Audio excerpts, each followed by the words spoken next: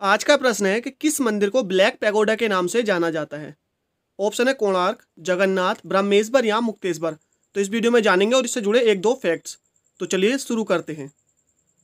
पुरी में स्थित कोणार्क का विशाल सूर्यदेव का मंदिर नरसिंह देव बर्मन प्रथम ने बनवाया था।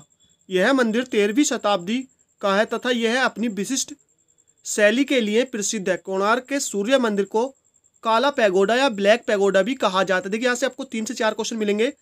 किसने बनवाया था? ये मंदिर नरसिंह देव बर्मन प्रथम ने।